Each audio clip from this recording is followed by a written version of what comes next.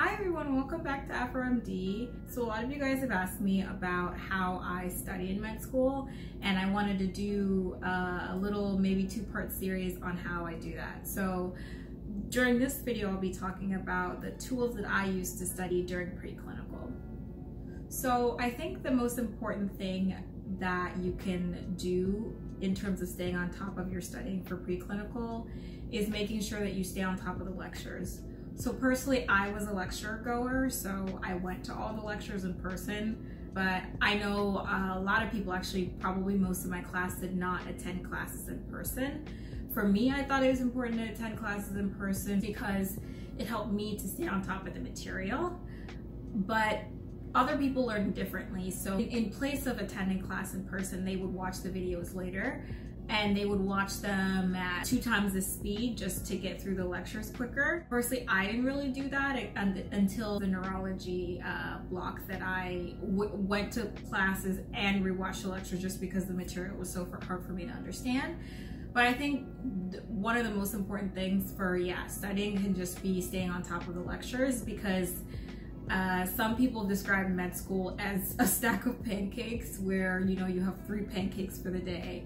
Uh, you don't have to eat all three pancakes that day, but it is important to know that you're gonna get another three pancakes the next day. So making sure you keep on top of the material is really important. In addition to lecture, how I, I chose to to organize the lecture material, I'm, I'm going to show you here, is I would use OneNote and for every module we had, I would go in and I would uh, turn the uh, lecture PowerPoint into a PDF and then upload it into OneNote.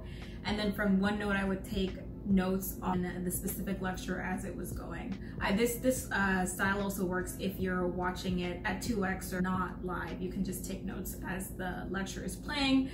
What I did is I had for the few lectures that I did watch, you know, rewatch or watch at home, I had an iPad so I could pull up the uh, material on there, the actual lecture, and then I could take notes on my OneNote. But sometimes if I didn't have my iPad with me, I would just have half the screen be the lecture and the other half be OneNote. In addition to using OneNote, what I also did was I used Anki.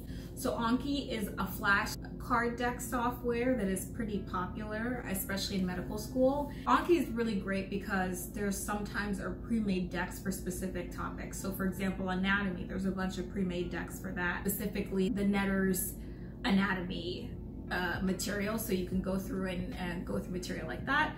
What I like to do is I like to make my own flashcards for each specific uh, test. So what I would do is I would, for all the lectures for that specific exams, I would make flashcards for each of the lectures and then put them in and then the week before the exam or like I would try to finish maybe two days before the exam and then spend the last two days going over the flashcards. Just for me, that's how I helped consolidate information. If you don't like doing Anki, some people think it's complicated. There's also uh, Quizlet. In addition to those uh, resources, um, there's a couple others. So there's Boards and Beyond, which I didn't use per se, but I know other people watched. Um, OnlineMedEd is a godsend, uh, even for uh, it's helpful in the clinical years, but during the preclinical years, there's also a lot of different videos that can help you through specific topics as well. Um, osmosis was also very useful. You can either get an individual membership or some schools have uh, institutional memberships that they purchase. There are also pre-made resources that people have have made in the past. So for example, Sketchy is a very popular one both for microbiology and pharmacology. I'm pretty sure it's a paid membership, but if you were to split it with a bunch of your classmates, it would be pretty affordable. That leads me to the last resource, which is your classmates. I think for me, especially as I got closer to the end of preclinical, I had less and less energy to make my own resources. So I, I relied uh, somewhat on some some of the other resources that my classmates had made, both in my year, but in the years above. So I think if you're ever struggling, it's really a good time to like reach out to either upper years or your other classmates, you know, ask in your, your group chats to see what other people have done. And for the most part, um, at least at my med school, people are pretty willing to share resources. It's also important to just reach out to your professors if you have any specific questions or uh, information that you're not understanding, they can serve as a resource for you if you need additional help. And it is never a bad thing to ask for more help. Let me know what you think of this video. I'll probably be updating it to do a little series on how I study now that I'm in my clerkship or clinical rotation portion of med school.